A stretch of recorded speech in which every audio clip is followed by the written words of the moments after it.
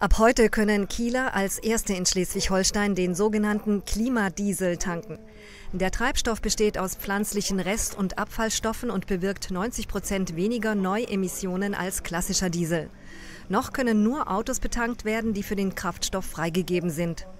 Das sind aber gute Anfänge. Also wir sehen das schon als einen wichtigen Baustein zur Antriebswende, um klimafreundliche Kraftstoffe zu betreiben. Äh, inwieweit das dann alltagstauglich wird für den normalen Autofahrer, das wird sich zeigen. Mit einem Euro 79 ist der neue Treibstoff aktuell noch etwas teurer als der übliche. Vor allem Unternehmen mit großem Fuhrpark wie die Kieler Müllabfuhr setzen auf die Alternative.